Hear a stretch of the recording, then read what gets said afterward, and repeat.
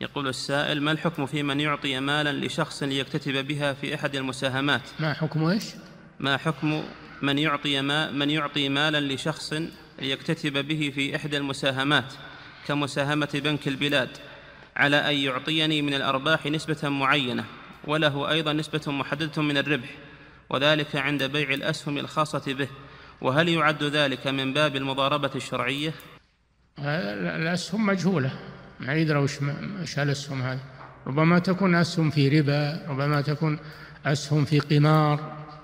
أسهم مجهولة.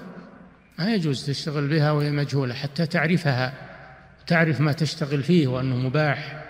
وتعرف التعامل هل هو موافق للتعامل الشرعي أو غير موافق.